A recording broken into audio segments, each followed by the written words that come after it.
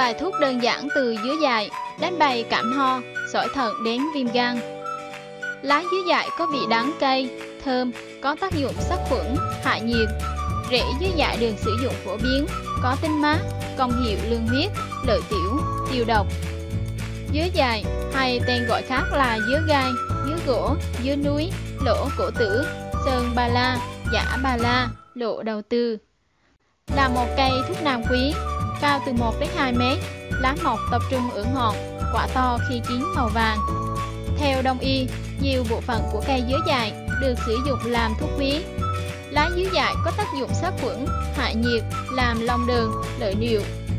Rễ dứa dại được sử dụng phổ biến hơn, có vị ngọt nhạt, tính mát, công hiệu lương huyết, lợi tiểu, tiêu độc, nên dùng trị cảm mạo, phát sốt, viêm thận, viêm đường tiết niệu, viêm gan, sơ gan cổ trướng, viêm kết mạc mắt. Ngoài ra, quả dứa dại còn có tác dụng trị lì, ho, hạt quả trị viêm tinh hoàng hay trĩ. Cách chế biến và thu hái Các bộ phận đọt non, quả và rễ quả dứa dại được dùng làm thuốc. Rễ non chưa bám đất thái mỏng, phơi khô, hạt sấy khô dùng dần. Quả thái mỏng, phơi hạt sấy khô sử dụng dần. Một số bài thuốc chữa cảm ho, sỏi thận và viêm gan từ dứa dài. 1. Chữa cảm ho Dùng hoa dứa dài 4 đến 12 g, sắc uống chữa được bệnh ho cảm màu.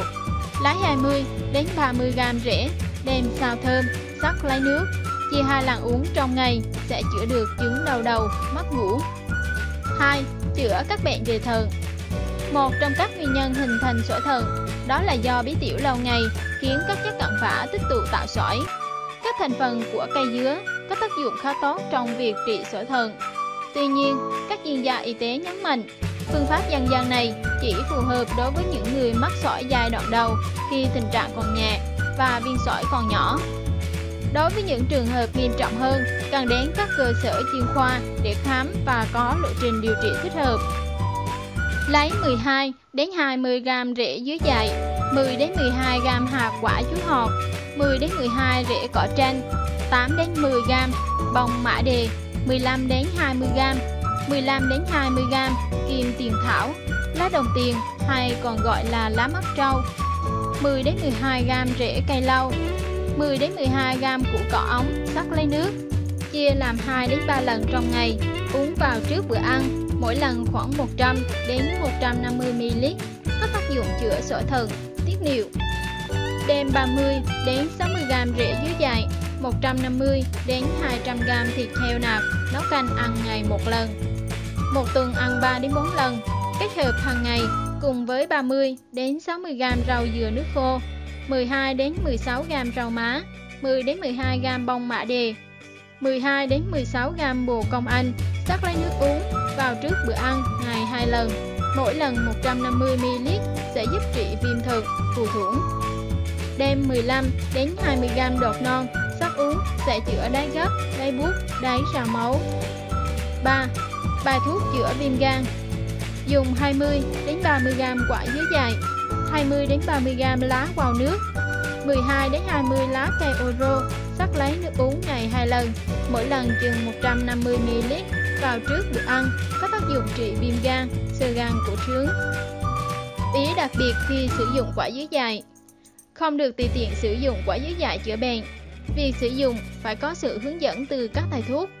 Nếu tự ý sử dụng, cực kỳ nguy hiểm bởi ở quả dứa dài dạ có lớp phấn trắng rất độc, không bào chế đúng cách và đưa vào cơ thể trong thời gian dài có thể gây ra ngộ độc, suy thận. Quả dứa dài dạ có tác dụng chữa bệnh gan, nhưng chỉ chữa được một số bệnh viêm gan nhất định, chứ không phải tất cả thể viêm gan đều có thể dùng vị thuốc nam này. Hơn nữa, nó cũng chỉ có tác dụng chữa viêm gan cấp, mới bị và một số ít thể viêm gan mãn. Cảm ơn bạn đã xem video của Sức khỏe tự nhiên. Hãy like, comment và đăng ký kênh bạn nhé. Vì sức khỏe người Việt.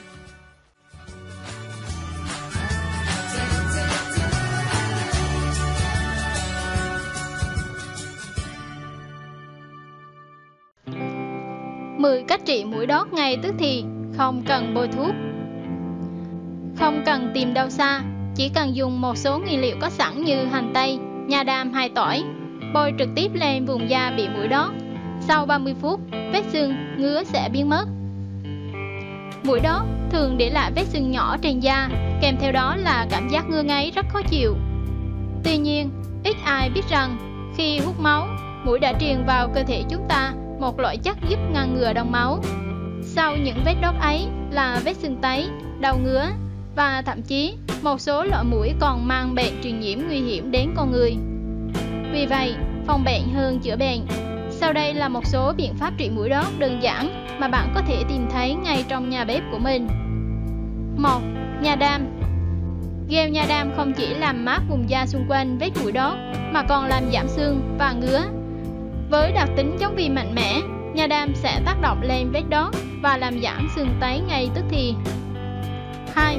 Hành tây Với vị cay nồng của mình, hành tây có rất nhiều công dụng thần kỳ. Một trong số đó bao gồm cả chữa vết mũi đốt. Nó có thể làm giảm ngứa và sưng do vết mũi đốt gây ra một cách nhanh chóng. 3.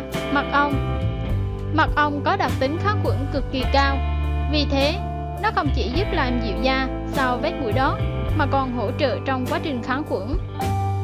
Bón, chanh tươi Trong nước cốt chanh chứa rất nhiều axit, vì thế đây là loại quả hay được áp dụng nhiều nhất trong việc chữa vết mũi đó, vì nó vừa giúp giảm sưng, ngứa mà còn giảm khả năng miễn dịch, vết thương rất hiệu quả.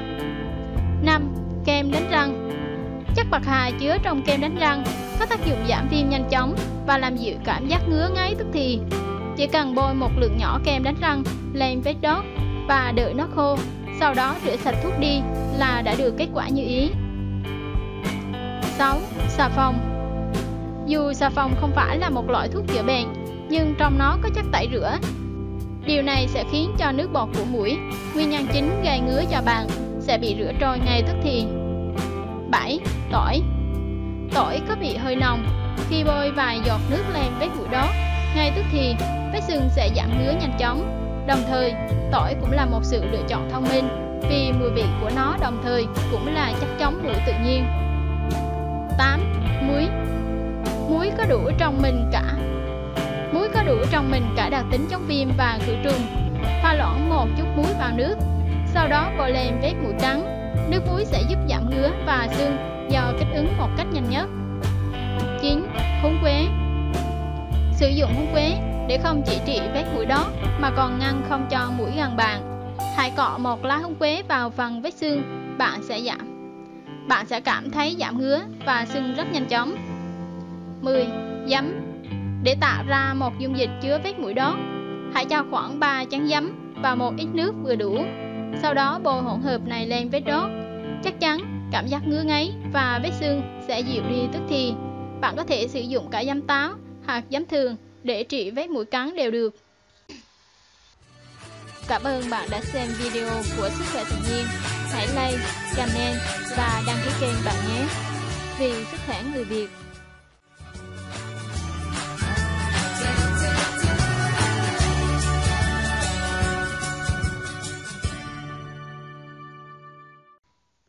Tác dụng của rau đắng Rau đắng được sử dụng phổ biến trong bữa ăn gia đình.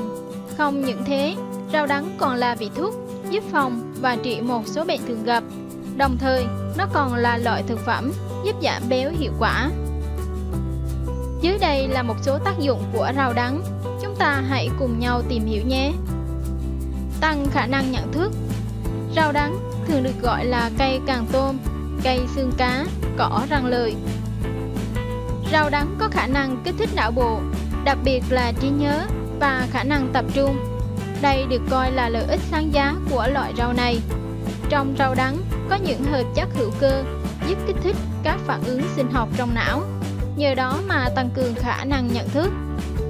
Chống rối loạn nhận thức Rau đắng được chứng minh là có hiệu quả trong việc làm giảm các nguy cơ rối loạn nhận thức ở tuổi già như chứng mất trí và bệnh Alzheimer trong rau đắng có một yếu tố kích thích cơ chế sản sinh các phản ứng sinh học trung hòa mới, làm giảm tình trạng stress, oxy hóa trong não, giúp tâm trí luôn minh mẫn khi tuổi tác tăng lên, giảm lo âu và căng thẳng. Nhờ những hoạt chất có tác động tích cực đến việc cân bằng hormone gây căng thẳng cho cơ thể. Rau đắng có khả năng giúp bạn giảm lo lắng và những cảm xúc tiêu cực. Khi tinh thần bất ổn, có thể nhai 2 đến 3 cọng rau đắng sẽ giúp bạn bình tĩnh hơn.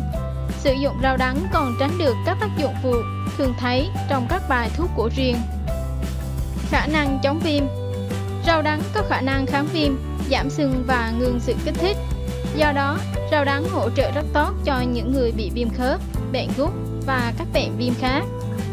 Tác dụng thông tiểu Dùng 40g rau đắng nấu nước uống. Ngoài ra, nếu kết hợp rau đắng với cỏ tranh hay mã đề có thể chữa sỏi nhỏ, sỏi ở bàng quang. Bạn dùng 60g rau đắng kết hợp 10g rễ cỏ tranh hay 10g mã đề. Chứa chất chống oxy hóa Các nghiên cứu đã chỉ ra rằng trong rau đắng có chứa hàm lượng chất chống oxy hóa rất tốt cho cơ thể. Chất chống oxy hóa giúp loại bỏ các gốc tự do, gây ra nhiều bệnh tật cho bạn. Trong đó có bệnh ung thư, giúp tăng cường quá trình trao đổi chất. Bên cạnh đó, rau đắng còn có khả năng chống lại loại độc tố nguy hiểm gây ra các bệnh thái hóa thần kinh là S-rilamen. Vấn đề về hệ tiêu hóa Rau đắng cũng được dùng trong các bài thuốc truyền thống để trị bệnh viêm lét dạ dày và hội chứng ruột kích thích. Ăn rau đắng có thể làm giảm bớt tình trạng viêm trong ruột và ngăn ngừa nhiều bệnh về đường tiêu hóa. Bệnh động kinh Từ lâu, rau đắng đã được sử dụng trong phương thuốc điều trị chứng động kinh.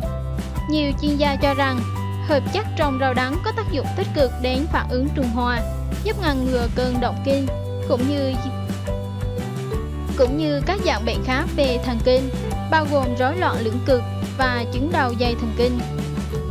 Đây là một số tác dụng của rau đắng mà chúng tôi giới thiệu cho các bạn. Ngoài ra, chúng tôi sẽ cập nhật thêm nhiều bài viết bổ ích về rau đắng trong lần sau.